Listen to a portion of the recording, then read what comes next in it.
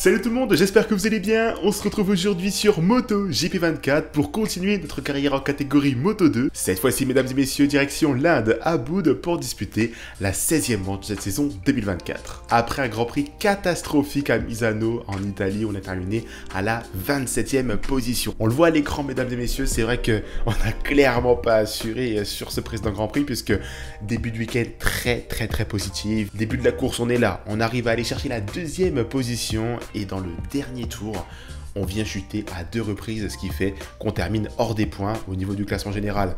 On a perdu une place, on est toujours à 161 points, mais par contre, l'écart grandit de plus en plus avec Manuel Gonzalez, qui est maintenant de 45 points. Ce qui veut dire qu'il va falloir maintenant se reprendre en main sur cette fin de saison, parce qu'on peut le voir sur la tendance des 5 dernières courses, 5e au Saxon Ring, 9e à Silverstone, 7e à Spielberg, 7e à Catalunya, voilà. On était à peu près constant, et là, bam, on vient complètement chuter sur ce dernier Grand Prix à Misano. Donc, il va falloir se ressaisir. Mais bon, avec ce Grand Prix aujourd'hui que l'on va disputer en Inde à Boud, je pense pas trop que l'on va pouvoir marquer le très gros point. Après, on n'est pas à l'abri d'une surprise. Mais franchement, déjà que le circuit n'est pas trop une de mes terres de prédilection. Donc, ça m'étonnerait qu'on fasse un podium. Petit message au niveau du MotoGP Wall, message de Chile Signovetti qui nous dit Mathieu Soup fait moins bien que nous, mais il ne faut pas se laisser distraire. Nous sommes arrivés à bout avec ce qu'il fallait pour poursuivre dans cette voie. On peut lui répondre avec l'équipe, on aurait pu faire mieux, mais ça n'a pas été à notre week-end. On va tenter de travailler plus dur en vue du week-end prochain. Ou alors, on a raté quelque chose, mais à la prochaine course, je serai devant comme d'habitude. Bon, Première réponse, ça me va, hein. comme ça tout le monde est content. Et donc on peut maintenant découvrir la météo qui nous est réservée aujourd'hui.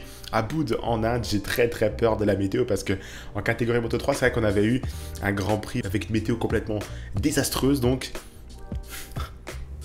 on a de la chance. On a de la chance. J'ai eu très très peur. Première séance d'essai qui va commencer avec un temps pluvieux qui finira avec un temps nuageux.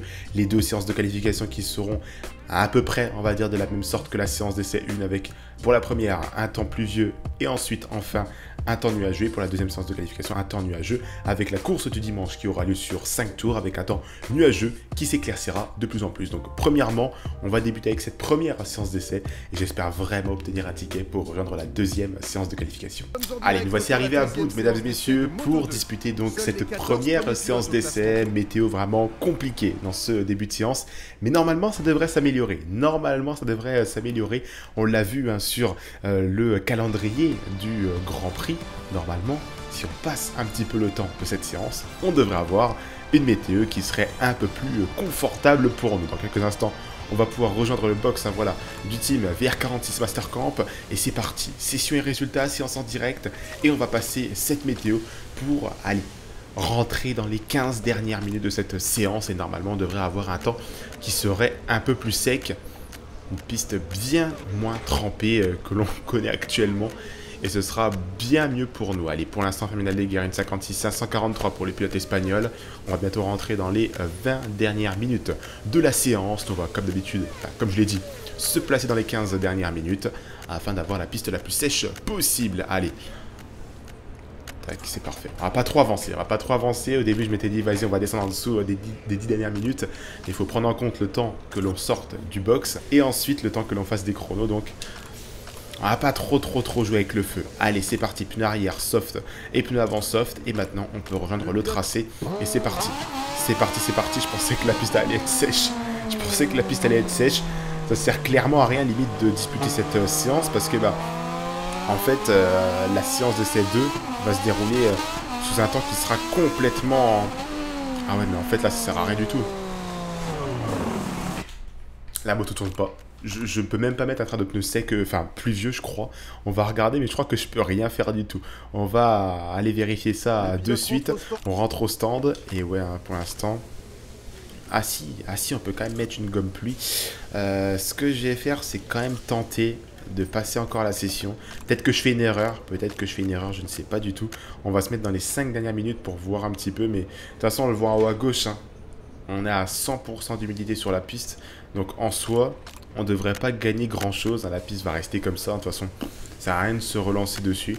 On va passer le temps et puis on va devoir disputer cette première séance de qualification. Là, on n'a clairement pas le choix malheureusement. On s'est fait un petit peu avoir là au niveau, euh, au niveau de la gestion du week-end. Terminal des guerres 1,56 543. Nous, bah forcément, on est en non calculé, hein. on est dernier hein, si on regarde sur ce classement de cette première séance d'essai, mesdames et messieurs. J'ai un petit peu de mal à descendre le classement, là on le voit à l'écran. Mais on va le voir, je suis en non calculé, on est tout, tout, tout au fond. Ouais, c'est compliqué pour nous, mais bon. On va devoir passer par la première séance de qualification en l'espérant pouvoir aller chercher un ticket pour la deuxième séance de qualification. Le temps qui n'a pas changé, le temps qui n'a pas changé, hein, c'est vrai que pour la première séance de qualification, euh, les conditions météorologiques ne sont pas tip top. Mais bon, on va quand même essayer d'aller chercher un chrono qui nous permettrait pourquoi pas d'aller euh, chercher un ticket pour la Q2. Je vais passer un petit peu le temps, mais je pense que la piste elle va pas réussir à sécher. Hein. On est à 94% d'humidité sur la piste. Euh, très clairement, là, euh, je vais me mettre dans les, les 10 dernières minutes, mais pour moi, ça va pas servir à grand chose parce qu'on va y rester. Allez, circuit, c'est parti. rejoins le tracé. J'ai fait une erreur. J'ai fait une erreur, je suis en train de pneus full soft, donc ça veut dire un train de pneus pour des conditions météorologiques entièrement sèche. Je suis en train de faire n'importe quoi. Début du week-end catastrophique pour moi. Je suis en train de faire n'importe quoi. On va changer notre train de pneus vite fait avant de repartir sur la piste. Attention, tac, pluie, hop, hop, pluie, et c'est parti. Normalement, ça devrait être tout bon, mais je pense pas réussir à aller chercher un ticket pour la Q2. Là, ça roule en 1,58, 0,68 pour Somcat Chantre actuellement en leader de cette séance. Mais on va essayer de faire euh, du mieux que l'on puisse même si j'ai hâte que ce Grand Prix euh, se termine. Denis Anjou qui est juste devant nous avec euh, le team Attack GP.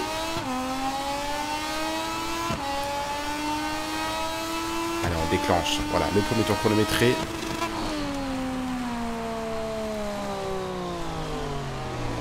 Ah là là là là. Je m'arrête. Je m'arrête parce qu'en fait, je sais que je vais prendre des risques, je vais prendre des repères sur de la pluie, enfin sur une piste trempée, alors que la course ne va pas se dérouler sur une piste trempée. Donc, je préfère m'arrêter là. Ok, on part dernier. Ok, ça va peut-être être compliqué, mais au moins, je ne préfère pas prendre de risques et de repères non plus. Bon, les conditions sont un peu plus préférables pour nous. Ah là, je vous le cache pas, la piste est sèche. C'est bien mieux pour moi. Allez, la course va donc avoir lieu dans quelques petites secondes ici à Boud. On en a avec la pole position du pilote espagnol Grésini. Manuel Gonzalez hein, qui partira de cette première ligne de la grille de départ. Nous, forcément, partira à l'extrême opposé à la dernière position et ça, c'est compliqué pour nous. On va se maintenir en médium-médium et on peut donc rejoindre le euh, tracé indien ici en partant de cette dernière position. On va essayer de faire tout ce qu'il faut hein, pour pouvoir remonter rapidement. Et c'est parti mesdames et messieurs, le départ de la course a été lancé ici à Booz avec un total de 5 tours à parcourir sur ce tracé avec pas mal de contacts dans ce premier virage avec Ayumu Sasaki, un petit contact avec notre coéquipier. Ça arrive fort là dans cette épingle à droite. Et on est plutôt pas mal. Hein. On est plutôt pas mal puisque là, on vient rechercher le top 10 en seulement 4 virages. Et là, je suis quand même satisfait. Je suis quand même satisfait. Le plus dur reste à faire. Puisque là, il va falloir essayer d'aller chercher Joe Robert et les autres pilotes. Et ça, je pense pas que ça va être une masse à faire ça va être, je pense, quelque chose de compliqué à faire sur les prochains tours. Le mieux pour nous, ça va être de conserver une roue pour pouvoir évoluer euh, du mieux que l'on puisse. Oula, oula, oula, oula, Je suis complètement loupé sur le point de freinage. J'ai voulu le retarder un petit peu sur Joe Roberts pour tenter euh, de revenir sur lui. C'était euh, quelque chose de mauvais à faire. J'ai qui est passé confortablement dans le virage 7. Ouais, forcément, moi j'ai pas la trajectoire du virage 8. Donc euh, j'ai pas réussi à m'approprier euh, la piste sur des conditions météorologiques que j'apprécie. Et le premier avertissement qui tombe pour nous. C'est passé rapidement là sur Sergio Garcia après mon erreur. On récupère donc la 11e position. Et c'est compliqué. Hein. C'est compliqué, c'est compliqué. On dégringole un petit peu. On repasse 14e. Avec un deuxième avertissement pour nous. Marcos Ramirez, 11e. Emmanuel Gonzalez qui mène toujours la danse en clôturant ce premier tour. Nous 12e, c'est vraiment pas simple. Hein. Et le dépassement de son 4 Chantra très très bien réalisé qui vient récupérer cette 13e place.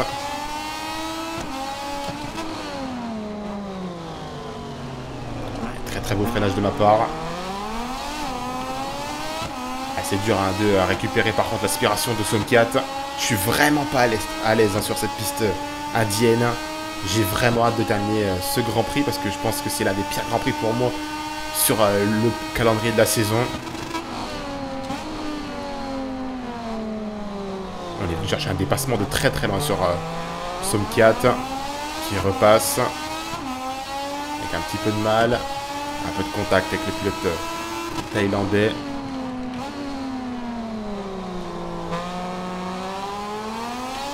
Allez, c'est passé. Ça va être dur de conserver. Allez, c'est repassé pour lui.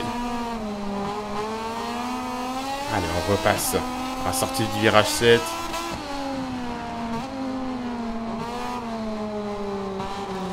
Ah, j'ai du mal à le prendre ce virage 8. Allez, contact avec Somkiat.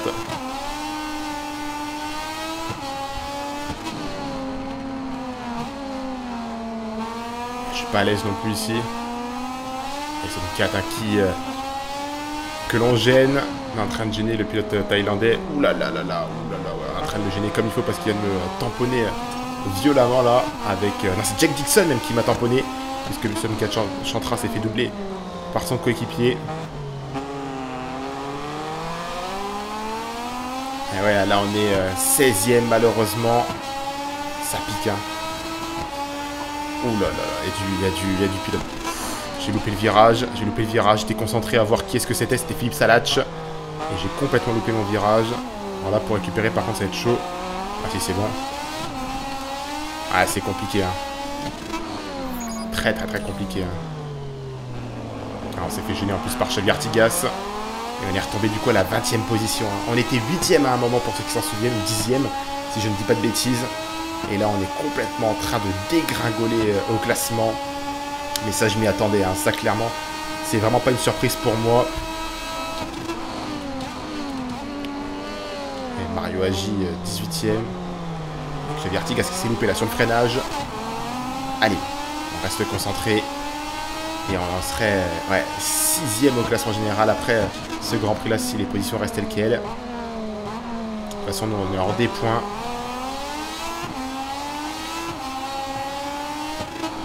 Misano et Boud, c'est vraiment pour l'instant deux grands prix euh, très compliqués pour nous. On n'est vraiment pas à l'aise. Ça a failli chuter en plus. Allez, il faut rester concentré. Même si c'est très compliqué, à hein. ce moment-là. Des grands prix où on fait des résultats blancs alors que on jouait potentiellement le titre. Il y a quelques grands prix très très dur hein, d'être dans cette situation-là, mais bon, ça fait partie euh, d'une carrière de pilote. On ne peut pas forcément être tout le temps devant. Allez, l'avant-dernier tour dans quelques instants, mesdames et messieurs. Avec euh, la 19e position à la clé. C'est dur, hein. très très dur. Secteur numéro 1, accident. Grosse grosse chute là dans le premier secteur. Avec le pilote qui restait à terre qui ne repartira pas. Hein. C'est Manuel Gonzalez. Ouh là là là, Manuel Gonzalez qui a chuté, j'ai pas fait attention. Aïe, là, très très très gros euh, coup pour euh, le pilote espagnol qui chute alors qu'il était euh, en train de, mener la course. Là, c'est pas ouf hein, pour le pilote du team Grésini. Ce qui laisse un terminal des guerres reprendre les commandes hein, de la course avec plus de quasiment 11 secondes d'avance sur nous. Ça commence à être très important l'écart.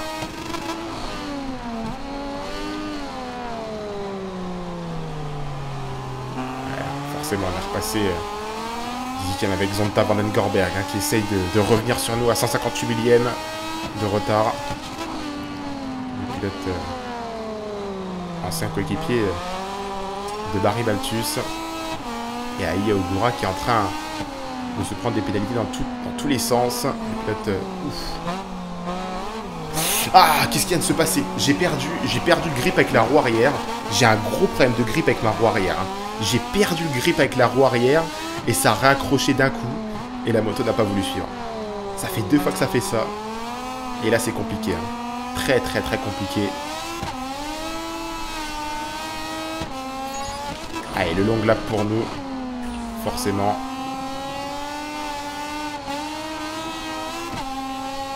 Ah là là, ça pique, hein. Ça pique, mais je crois que je me suis tapé ouais, 3 secondes de pénalité. Et... Je viens de me taper 3 secondes de pénalité, je ne sais pas pourquoi. Je ne sais pas pourquoi. Alors là... Ouais, bon, allez. Allez, ça sert plus à rien. J'ai fait une fin de Maverick Vinales, donc j'ai pas envie de casser mon moteur, j'ai pas envie de me faire virer de mon écurie.